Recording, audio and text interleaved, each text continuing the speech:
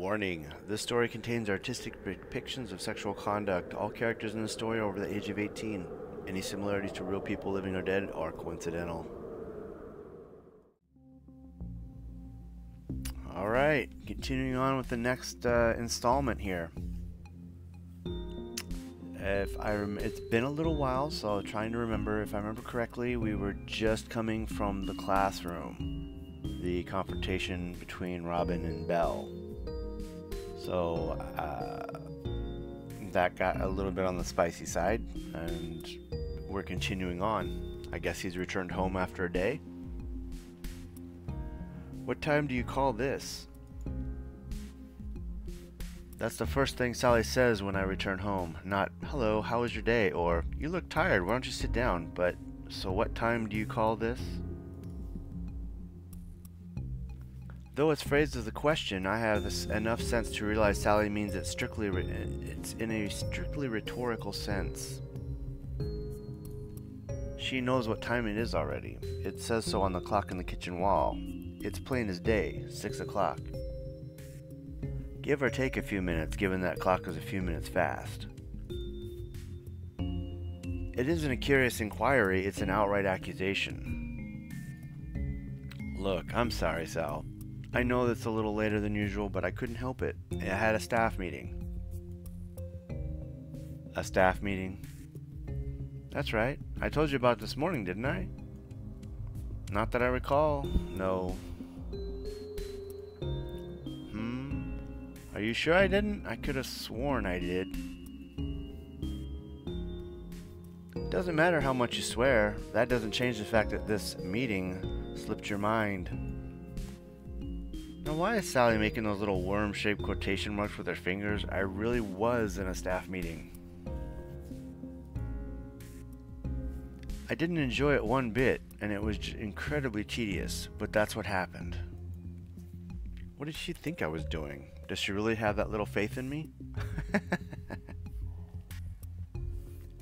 given the scenario you were just in with the piano and with Belle, uh, yeah, that might be just a little bit of guilt tingling in the back of your mind.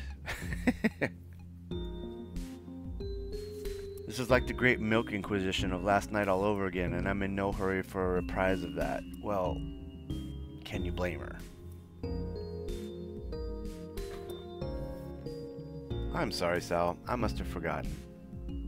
I've been to so many of these damn meetings these few, last few weeks, it's hard to keep track of it all. And is that why you didn't look at your voicemail? Because you've been so damn busy? Voicemail? What are you talking about? I'm talking about Melly, Robin. She wasn't, she was sent home from work earlier today. I had to go and pick her up. Huh. Wait, what? I thought Sally was just complaining for the sake of complaining as she as she is so wont to doing nowadays. That's gonna confuse me, want. But it's a different term I'm not familiar with.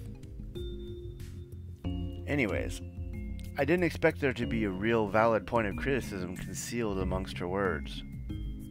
Geez, I must sound like I had such a hypocrite. There I was, complaining that Sally doesn't trust me when I don't trust her either.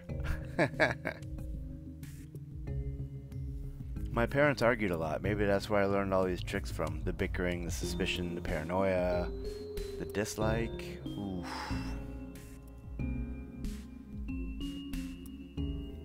That's right. Melly hurt herself, Robin. She was acting distracted all day and kept falling asleep in class. Insomnia. That's what Melly has, apparently. Then, in the middle of PE, she tripped and sprained her leg. She could barely walk. She had to go home and a sprained leg too.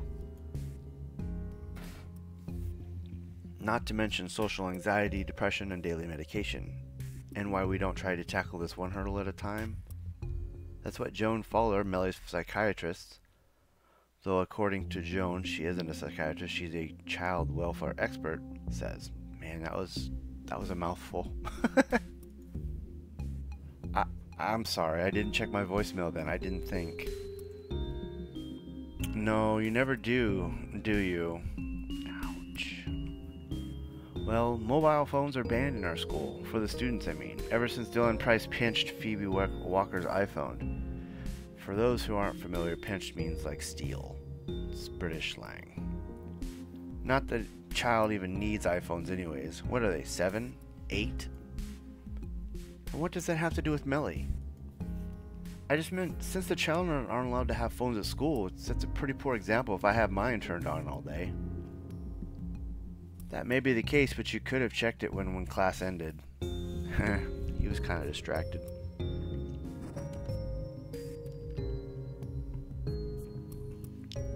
I know. I'm really sorry, Sally. It totally slipped my mind. So how is Melly? When did she have PE? You don't know your daughter's own timetable? Schedule.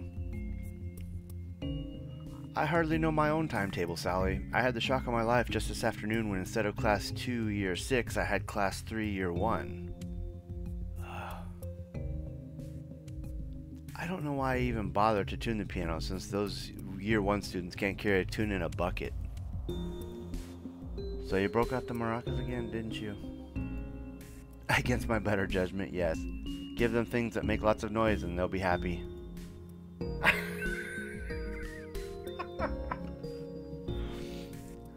I'm sorry, this this look on her face right here, this look, I have not seen this. I think this is the first time I've seen her like have a pinch of a smile show. Everything has been like resting bitch face or RBF as I sometimes lovingly call it, or just, you know, suspicion or, you know, doubt but this is the first time I've seen a smile of sorts on on Sally here.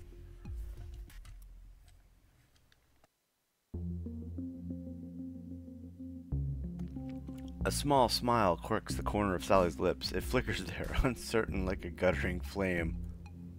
I think she's annoyed at me, but the mental image she must have of me being overrun by screaming five-year-olds is so entertaining she can't stop herself from smiling. Well, a smile is better than no smile, I suppose. Melly had PT... PT... Oh boy. Melly had PE in the afternoon. It was her second to last lesson of the day. So she hasn't been back home for long?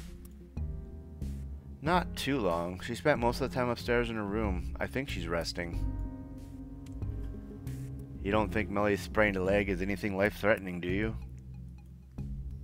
I'm sure she'll be fine in the morning. She hasn't broken any bones. The school nurse said it was just fatigue.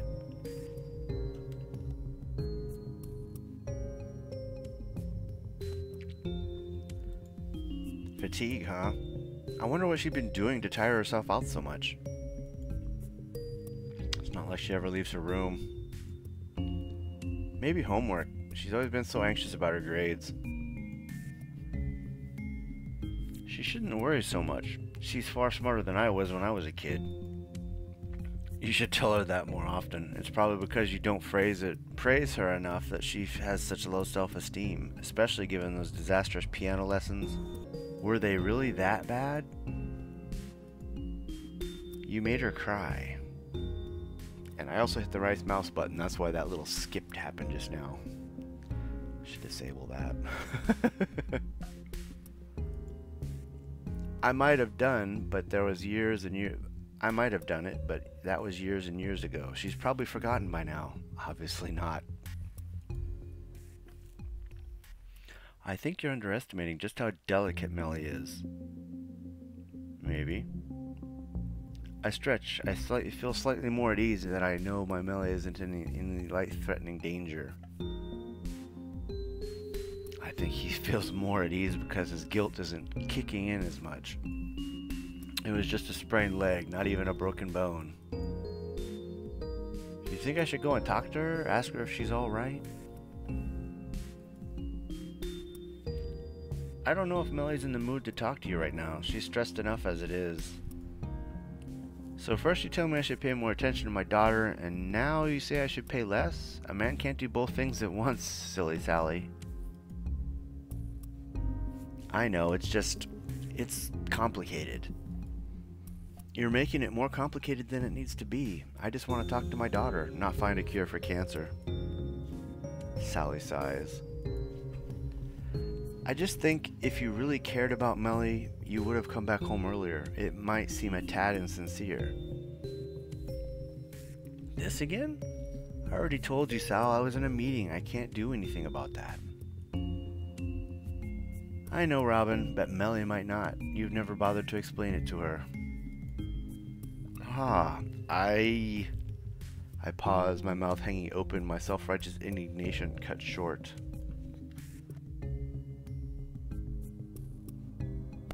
Sally might have a good point. Given how I rarely speak to Melly, it's entirely probable that I never explained my circumstances to her before. Maybe this whole time Melly was laying upstairs in her room, curled up in bed, wondering where I was, thinking if I didn't come because I didn't care, because I don't like her. But that isn't true. At least I don't think it is. Oh. I can't deny that I find Melly find Melly hard work, but I do love her. She's my daughter. I I know I haven't been as forthright with Melly as I should be, but I don't know where to begin. I don't want to worry her. She doesn't need to know how busy I've been at work. or that the headmistress keeps firing staff left, right, and center. How Busy at work, huh? I know how you feel, Robin, but Melly isn't a child. You should try to be more honest with her. But what good does honesty do? It just upsets people. But hiding things and playing mind games hurts far, far more. And sprained legs, too. I'll take it. It did look rather swollen. Did you put ice on it? Mmm, pack of frozen peas. I think it's gone down now. That actually is a good alternative to ice. Well, that's good. Yeah, that's good. I stand in the corner of the kitchen, running my options through my mind like paper through a printer. Naturally, also like paper through a printer, my thoughts keep getting jammed, and I have to pause to manually reload them again and again. Right. Think I'll see Melly later after she's had a chance to rest up. Hmm. Give her a couple hours. I think I see I need some time to prepare myself. You need to prepare yourself to spend time for your daughter? With your daughter? Sure, all guys get anxious when they have to talk to pretty girls. oh boy. Sally rolls her eyes, but at least she doesn't look annoyed. I forgot you were such a charmer. I laugh. I guess it's easy to forget. Marriages has domesticated me. A pause. You do think our marriage was a good thing, don't you? Of course. I wouldn't have agreed to it otherwise. We're just going through a rough patch, that's all. A couple, all couples have them. Oh, Sally. I sigh, overcome with emotion. Sally sounds like her old self again. Sally Pally when I was tugging at her ponytail like she always tied it she always used to tie it back in. Or silly Sally when she said something ridiculous and I wanted to make her blush. She said we're going through a rough patch. She has no idea. Things might be rather more complicated than her cautious optimism leads her to believe. yeah, they definitely, um, with you playing with that cat girl, definitely uh, complicates things.